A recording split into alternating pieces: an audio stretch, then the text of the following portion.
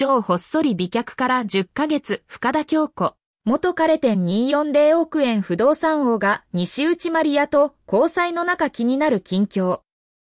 個人資産100億円とも言われる実業家で不動産投資会社シーラテクロノジーズの杉本博之会長47と歌手で俳優の西内マリア30が真剣交際していることが明らかになり、かつて杉本氏と交際していた深田京子41の動向にも注目が集まっている。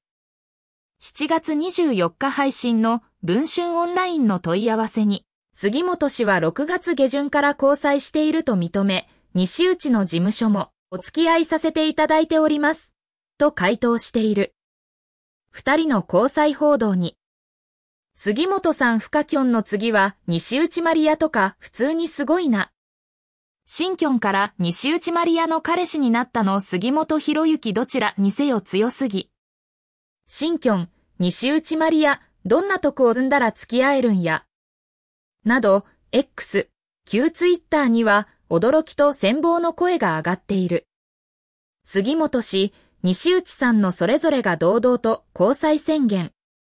それだけ真剣交際なんでしょう。ただ、あれ？深キョンとは結局どうなっていたんだっけ？と感じた人もいるようですね。ワイドショー関係者。杉本氏と深田の交際は2018年秋頃にスタートし、結婚前提の真剣交際だったとされる。2021年に深田が適応障害で芸能活動を休止した際にも杉本氏が献身的に支えたと報じられた。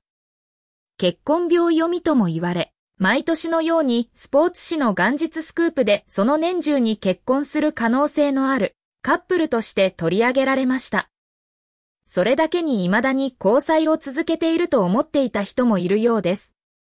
ただ、昨年末の段階で破局が報じられていましたね、全道。2023年12月のスポーツ日本によると、杉本氏と深田は同年9月に結婚の意思があることを確認し、同11月に深田の実家を放れ、同年内にゴールインする可能性もあったという。ところが年末に電撃破局。杉本氏も、お別れしたのは事実です、としっかりと認めていた。